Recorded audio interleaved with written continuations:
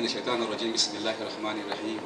وصلى الله على خاتم الأنبياء والمرسلين وعلى كل ملائكة المقربين وعلى عباد الله الصالحين برحمتك يا أرحم الراحمين. اللهم علمنا ما ينفعنا وانفعنا بما علمتنا وزدنا علما. اللهم رب اشرح لي صدري ويسر لي أمري واحلل عقدة من لساني يفقهوا قولي. We thank Allah subhanahu wa ta'ala for this way of life, for this Islam.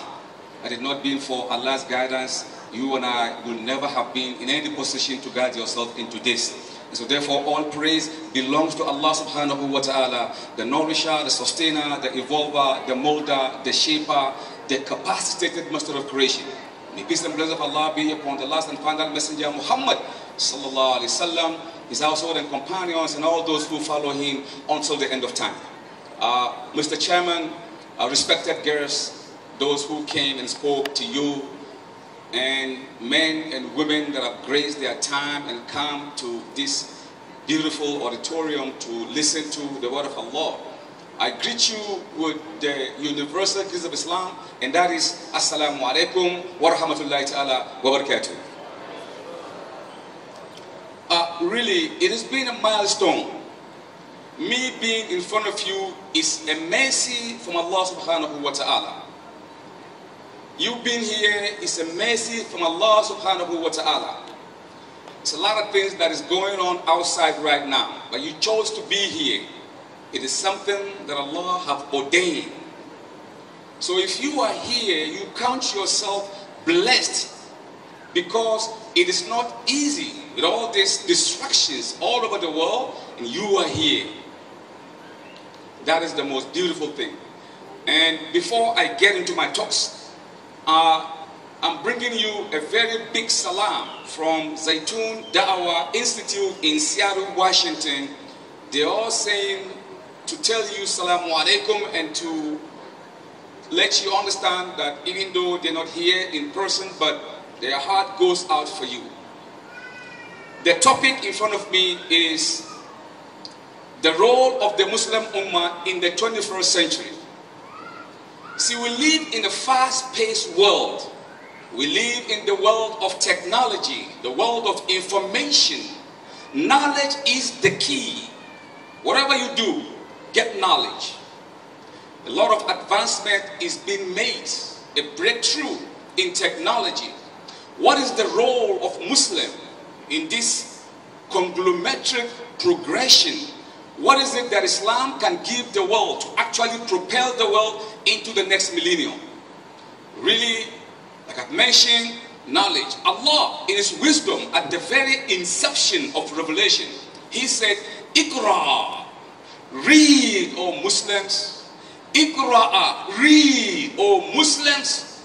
So the first revelation from Iqra up to ma lam ya'lam, Allah mentioned knowledge twice. And he mentioned pen once to emphasize the importance of learning in Islam. The Messenger Muhammad وسلم, he said, خيركم من تعلم القرآن وعلم The best amongst you is he who learned the Quran and teaches it. The best. Sallallahu Alaihi Wasallam. He also said, knowledge is the lost property of the believer. Go look for it, even if it's with the unbeliever, because you deserve it more than the unbeliever. He also said, the pen of the scholar is better with Allah than the blood of a martyr. Because if a mujahid goes to war, fight for Allah's deen to be implanted on earth, if he dies, he goes to Jannah straight. But the messenger said, no, the pen of the scholar is better with Allah because knowledge transforms human. Knowledge is the key that unravel the mysteries of life. People write books. You read the books many years. It transforms people. So knowledge is the key. Back in time, the Jewish were chosen to be the vehicle of righteousness. But they failed. And they failed so miserably. And Allah in His wisdom, He chose the Nasara, gave them a book. They deviated entirely from the path. Today, Allah said, كنت خير أمة أخرجت للناس You, the Muslims, are the best of nation evolved for mankind. خير أمة. But how could you be the best of the nation unless you do two things? Otherwise, you could not be the خير أمة. تأمرون بالمعروف وتنهون عن المنكر. If you do this, then you are the best of nation. Allah is not going to like you just because you are from some you know, a, a, community, or because of your tribe, or because you're rich, or because you're handsome, like I am handsome. Hey, look, it is a known thing. It is not a hidden agenda. Everybody knows that. Come on, man. That's a fact, man. Just kidding. and so that is the role of a Muslim. Today, the world have tried so many ways of life. They've tried communism. It didn't work. In fact, communism is booted away. They've tried sociology or social system. It didn't work.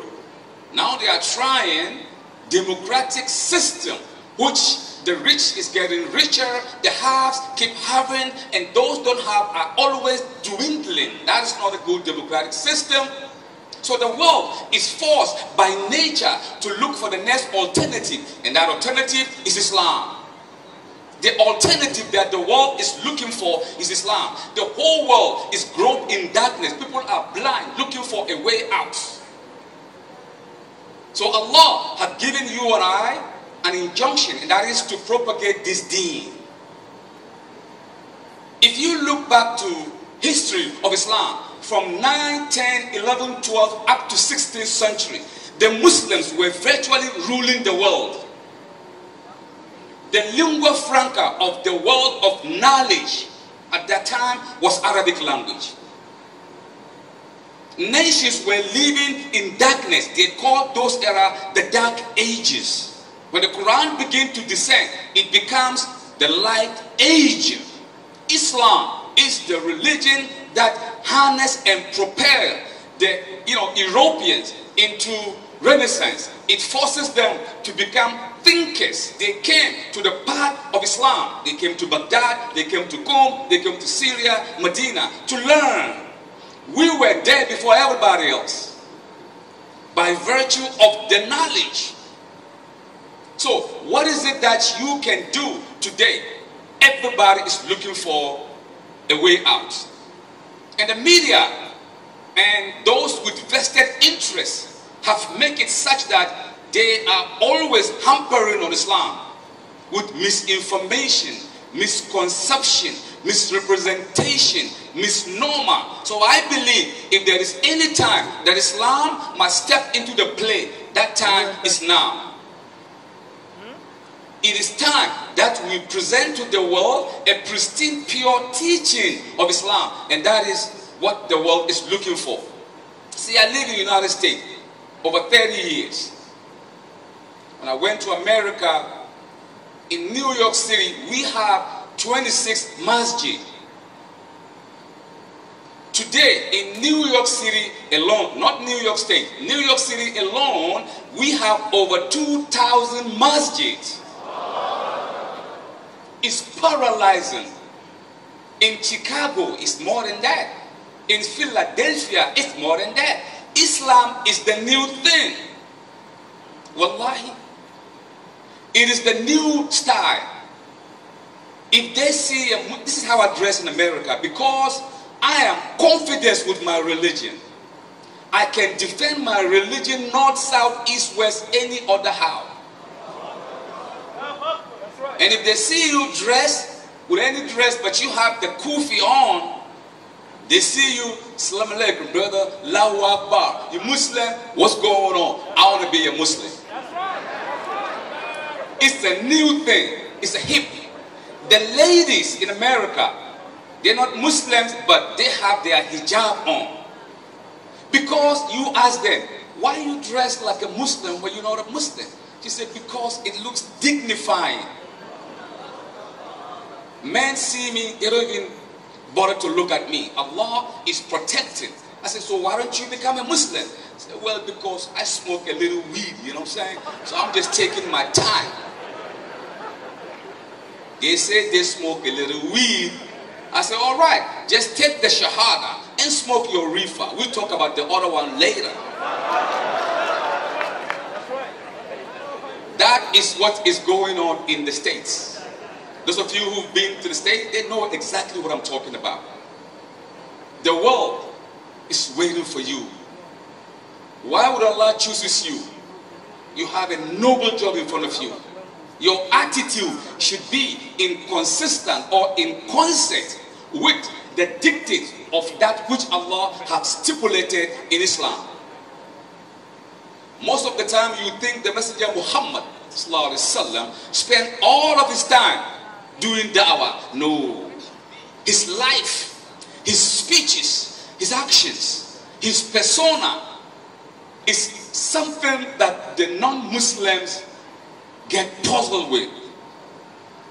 The Sahaba, Abdullah ibn Mas'ud, Sayyid Qudr, Abdullah ibn Abbas, you know, Bilal ibn Rabah, you think of them to be some huge, big, big mullahs with some turban on. No. The young men, 15, 18, 19, 20 years, those people in, you know, Bukhari, they make mention of them, and you think of, no, they, they were young, but they have the zeal to propel Islam into the next millennium. Today, the world need intellectual Muslims Gone are the days where they say Islam is all about Saul. Islam is all about this and that. Islam is all about intellectualism. And Allah have given us that latitude. When Allah said, Udu'u ila sabili rabbika bil hikma wal maw'izatul hasana wajadilhum billati ahsan. Invite them all to the way of Allah with wisdom and beautiful speeches. Not fighting, not causing chaos, Islam is not about that. The messenger was sent as a mercy. وَمَا أَرْسَلْنَاكَ إِلَّا رَحْمَةً لِلْعَالَمِينَ رَحَمَةً وَمَا أَرْسَلْنَاكَ إِلَّا كَافَةً لِلنَّاسِ بَشِيرًا وَنَذِيرًا وَلَكِنَّ أَكْثَرَ النَّاسِ لَا يَعْلَمُونَ We have not sent thee, Muhammad, but as a mercy, someone who will give them good news and glad tidings and warning them also. Then Allah said, most of mankind do not know this religion. We read that in the Quran. Walakinna aksaran nasi la ya'lamu. They don't know this religion. So Allah is in effect telling you and I, they don't know. Even though Islam is the fastest growing religion in the world, yet it is the most misunderstood religion in the world. Why? Because of what we do. Our life. They see a Muslim doing something, they take it that this is Islam. See, they sweep everybody under the same rug. If a Muslim does anything wrong, that's him.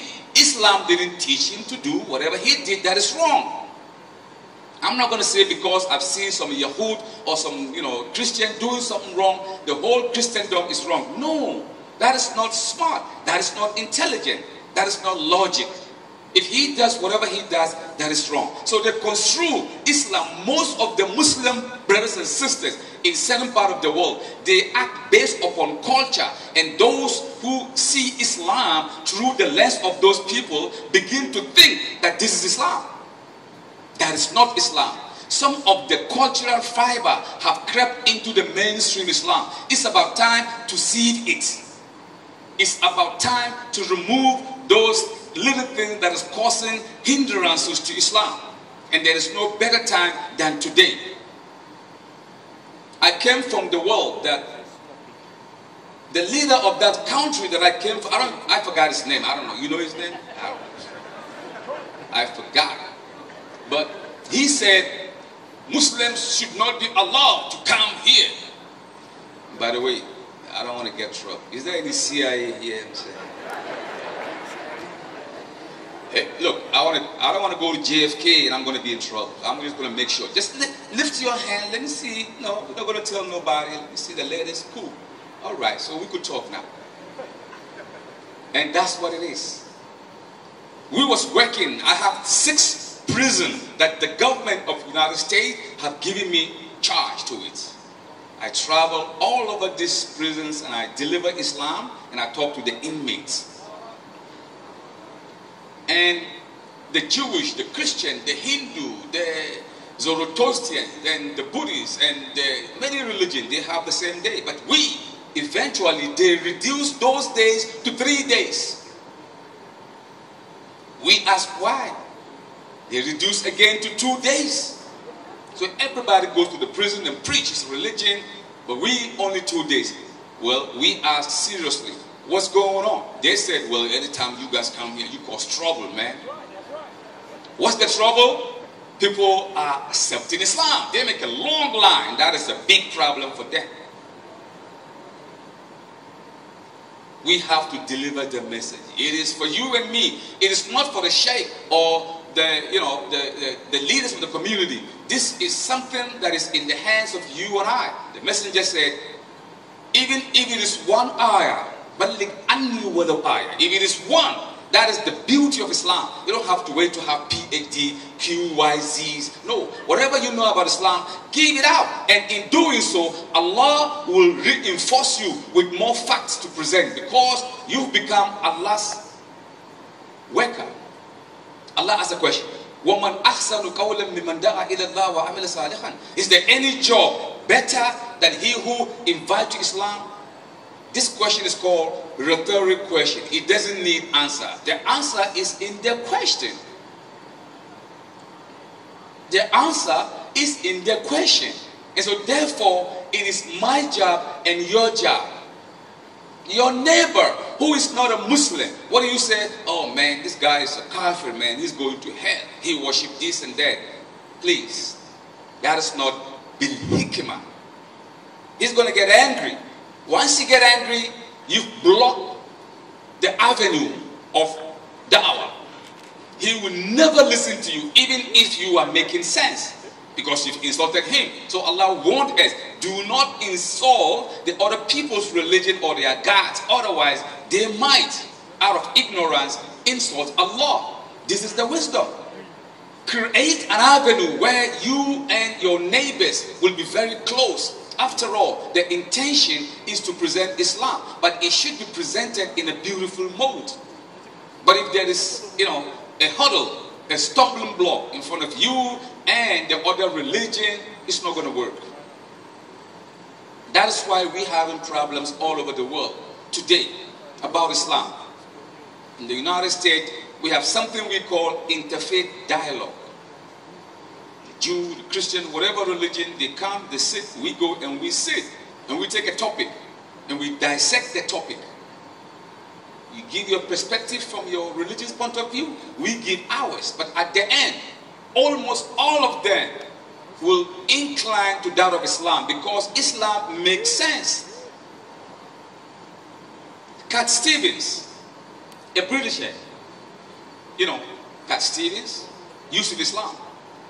He said, I'm glad that I found Islam before I found the Muslims. Whatever reason he make those statements, he knows that, but it makes a lot of sense. Why is it that we are having difficulties today in doing or presenting Islam? Because we've already put the stumbling block. And that is so difficult. People are begging for Islam. When I went to Jamaica, literally begging for Islam. Because I went on radio, they were asking me to decipher what Islam is all about. And somebody called me and asked me, why, what is, what can I say to make him, you know, accept Islam? I begin to break down. I break it down. I break it down some more. And by the time we're done, the guy called on radio, accepted Islam. It's on YouTube. That is, a, they want Islam because it makes sense. It is a religion that is consistent with nature. It is a religion that Allah have facilitated to everybody else.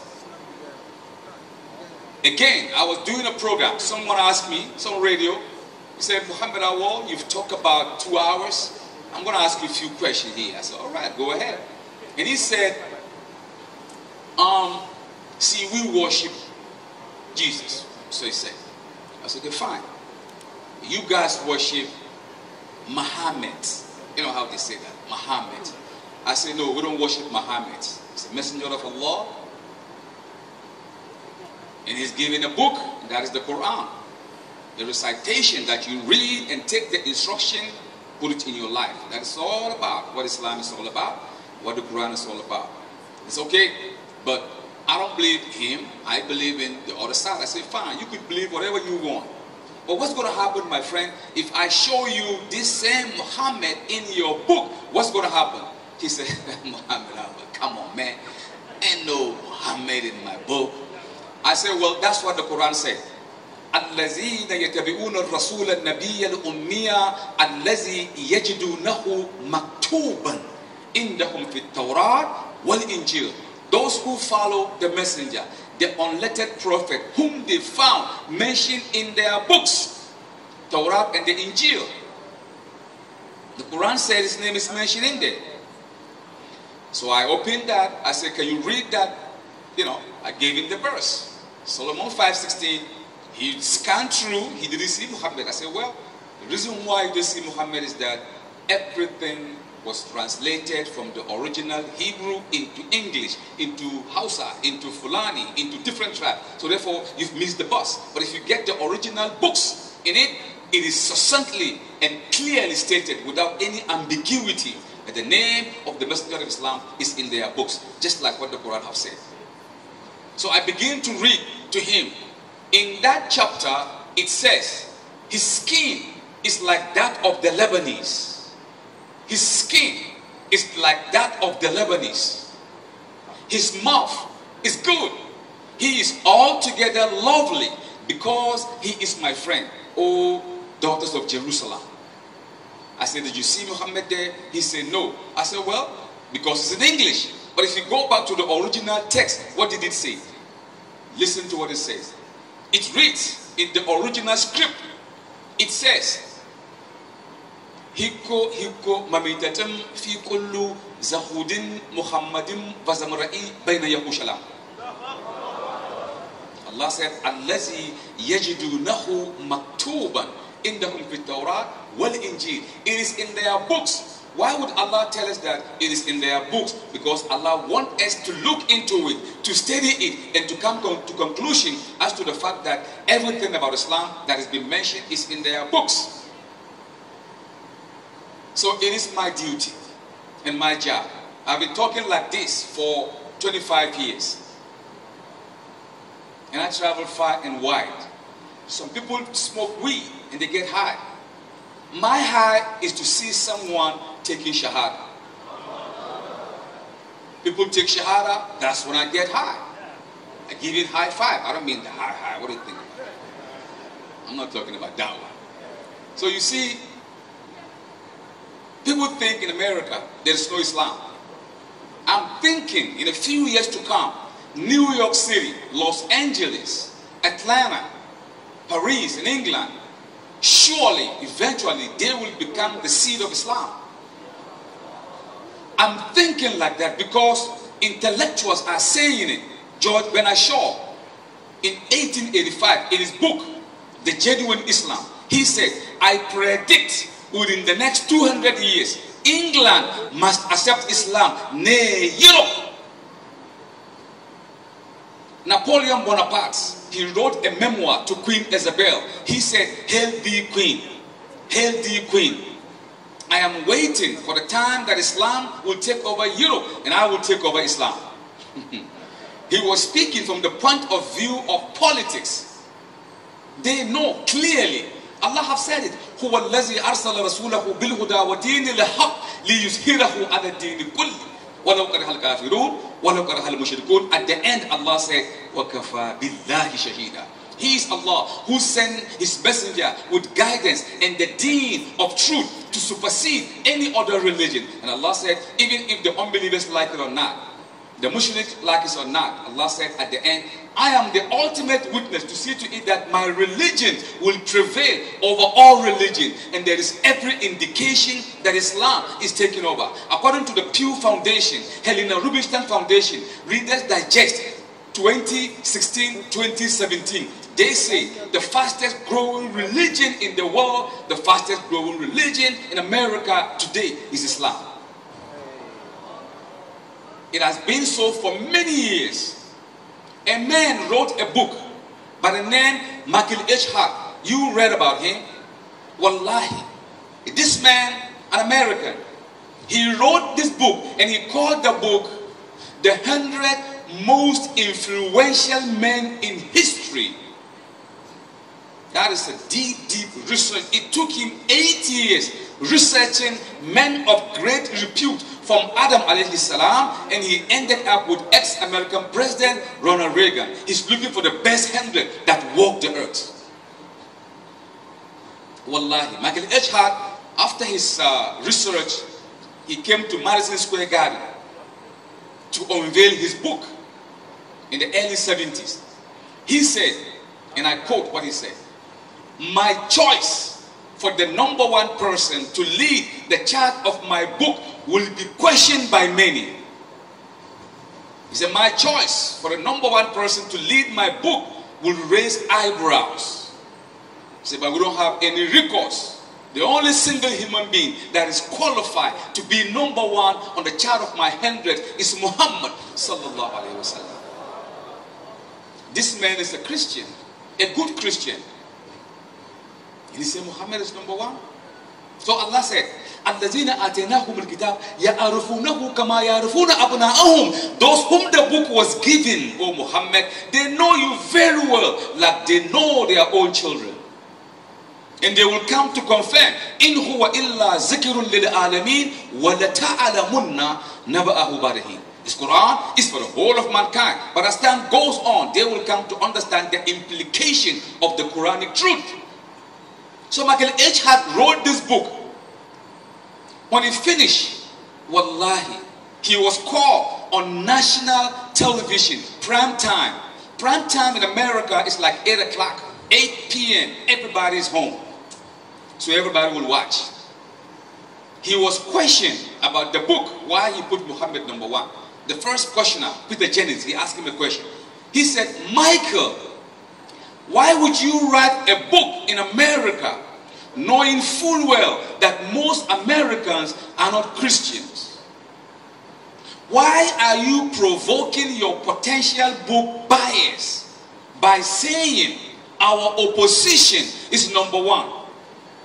Michael, you know, in business we have ethics. And the ethic is the customer is always right. But in your case, you are provoking those who will buy your book by saying Muhammad is number one. Answer the question. na yi makaranta abin nan kadawa makarantar gona shekara biyu da rabi yau ka zaure one year ka zaure secondary bayan na gama na yi aiki haɗe da jama'ari river basin authority wannan karnin amadu rufayi shi ke kula da abin nan na aiki haɗe da malam madori minjibir abubu gizawa birnin kudu da shauransu haka. Aiki na na musamman ita ce building dam dam ɗin nan na ruwa ɗin nan da ke dam that is my job. Aiki na kenan shekara biyu da ya wuce ɗin nan 2016 na zo kano na tafi kadawa i built two dams ni na gina da hannuta. Na je gurin na tsaya ne da abin nan abokana ina kallon dam din kurin sai na fashe da hawaye. Ce Allahu akbar. Na daga na duba ga inda na zana. A wannan lokacin nan akwai wani sunan gayi da nake amfani da shi. Ba zan faɗa muku ba.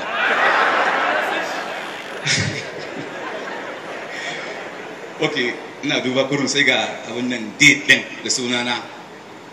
Na shi la hawla babban dam har yanzu ana amfani da ita. Tiga mu ɗin nan muka kafa tiga. Tiga dam. That is my job. Hausawa kwatas kar ka sara mafi yawancin ladin ni na saida da hannuna din ina dan ƙarami abina ana ta mamaki wani irin soyayya ne wannan? Gashi dan ƙarami kaza da kaza da shauransu. But that's what I did. So kada ku ba na hausa ina hausa kwarai da gaske. Ni fulani ne. Fulani amma ta ba hausa so I'm in between amma zama na abin nan kasar turai ya yi yawa da yawa. 34 years. That's a long time. So I'm trying to come back home man. Trying to be around. I need to go right. Yeah, so man, you guys, you want me to stay here till till that kid? Man, I'm leaving the stage. It's my time, man. I gotta roll. My time is up. So I'm leaving. هذا بالله التوفيق والسلام عليكم ورحمة الله تعالى وبركاته. Takbir! we got to go, man. Time is up.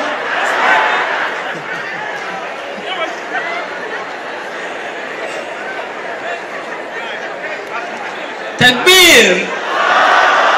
Don't worry, you all have an repeat of Sheikh Awal tomorrow. Also, is to be here. And he's going to start with Alsa, so you have to come on time, man. Alhamdulillah. We have to move on, huh? We have to move on.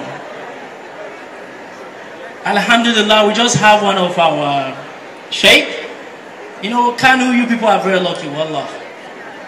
You have international airport. You can invite anybody from any part of the world, and he arrives directly here in Makia, Mallam Aminu Kano International Airport. Our next speaker just arrived, and I would say he has not spent more than an hour here in the. Khan